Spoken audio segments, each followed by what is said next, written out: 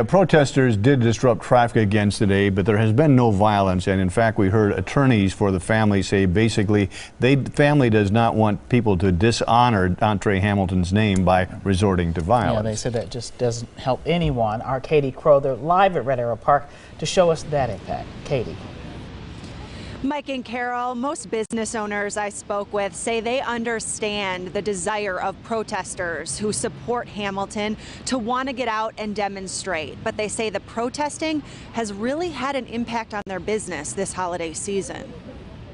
Ivor Reppins owns a subway near Grand Avenue Mall, which has repeatedly been the epicenter of downtown protesting. Well, it prevents people from coming downtown. It's quite an inconvenience when you end up closing the streets, the freeway. Uh, it's very disrespectful.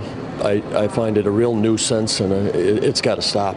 He says it's hard enough without these demonstrations to have a healthy business downtown. I, am overloaded as it is, and when stuff like this happens, it just hurts me. Penny Zaworski says many businesses shut down today in anticipation of protesting. Today, my landlord had said, you know, you just may want to close early, lock up. Um, some of the people that have offices upstairs have already left.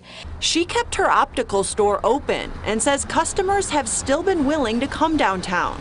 She's one of the few business owners who say the protesting does not bother her. We've heard them, they've shouted, but as far as like disrupting, pushing, or any of that, I didn't see any of that. Now, the Starbucks and the ice rink here at Red Arrow Park have been closed all day. They shut down, decided not to open at all. We're told the ice rink will reopen tomorrow at 11 a.m., but protesters plan to be here again tomorrow night at 5 p.m.